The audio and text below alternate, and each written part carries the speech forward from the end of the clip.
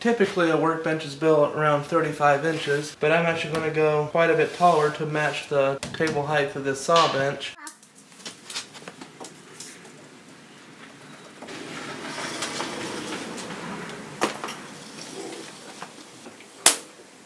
Now that we have that line snapped, our next step will be building the bottom shelf. And our top shelf is going to be 35 and a half, so we'll make our bottom shelf 5 inches less, so we'll make it uh, 30 and a half.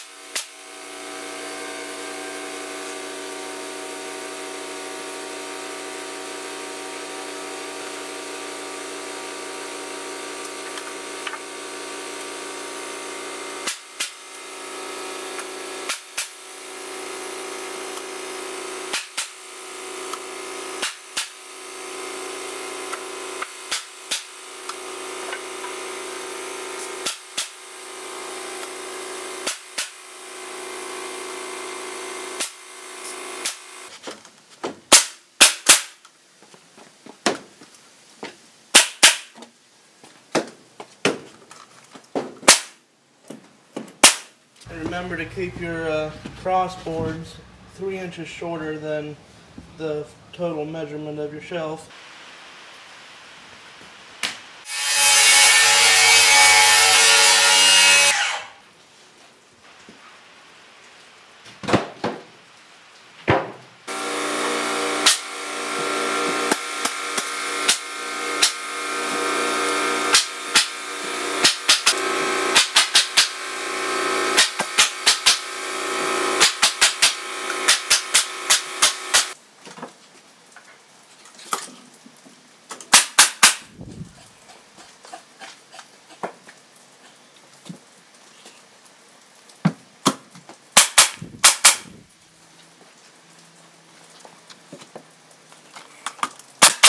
The next step is you want to put up your stringers. You want one in the back and one in the front.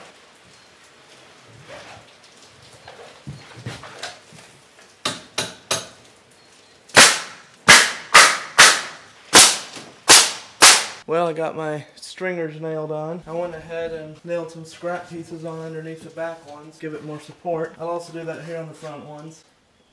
But now I'm ready to put on my top bench. I'm making that five inches bigger than what I made the uh, bottom shelf.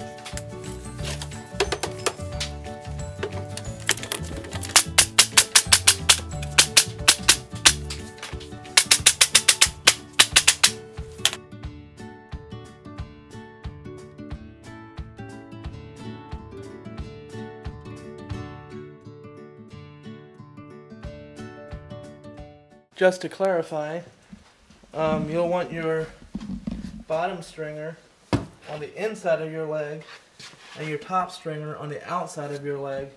That way when you stand here, you're not kicking the bottom as quick. So uh, you'll always want to make your top bench at least three inches longer than your bottom plus whatever overhang you want. So that's why I went five inches longer. Well, there you have it. I actually milled this lumber on my own sawmill from a tree that fell down just 100 yards over there. So to watch that, click this video right here.